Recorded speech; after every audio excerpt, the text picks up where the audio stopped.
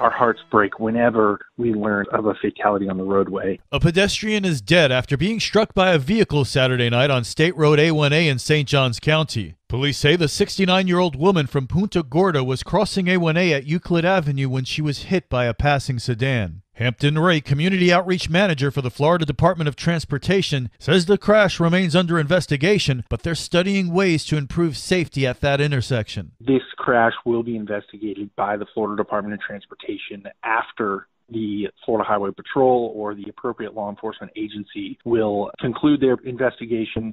So, if improvements on the roadway can be made to enhance safety, additional studies may be warranted, or we can go ahead and initiate an improvement to the roadway if we find that there's deficiency on the roadway that can be immediately corrected. That will be done. Ray says traffic control devices called pedestrian hybrid beacons will be coming to A1A soon. This local news is a service of your hometown Toyota dealer, Beaver Toyota US 1 St. Augustine, here to wow you.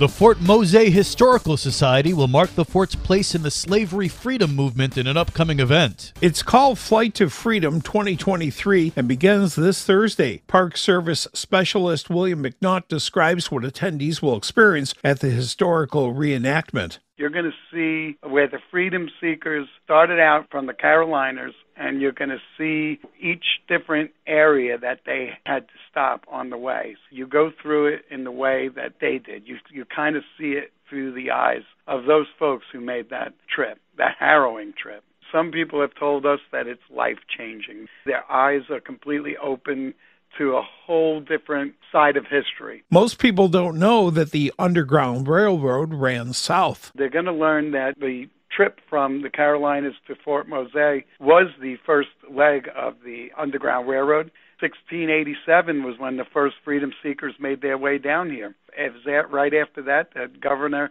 Montiano at the time set up the situation where they could come, be free. All they had to do was convert to Catholicism, and then the men would serve two years in the militia, and they would gain their freedom. Admission is free, and you can learn more about the event at fortmose.org slash flight dash two dash freedom. For St. Augustine's local morning news, I'm Rich Petchke.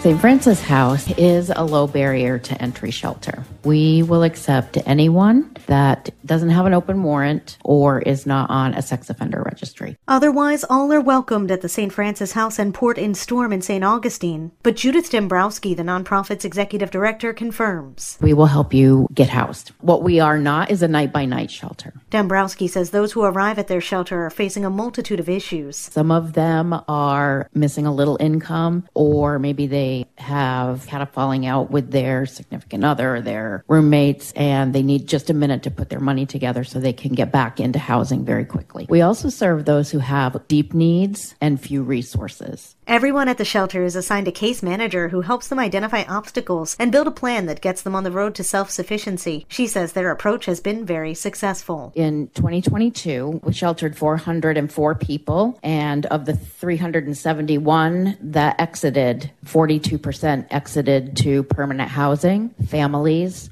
or a long term facility of some sort. Dembrowski says an additional 150 people were served through the nonprofit's agreement with the city, and street outreach teams directly housed nearly 50 people. With St. Augustine's local morning news, I'm Amy Sherry. And now you're up to date with St. Augustine's local morning news. I'm Rich Carroll.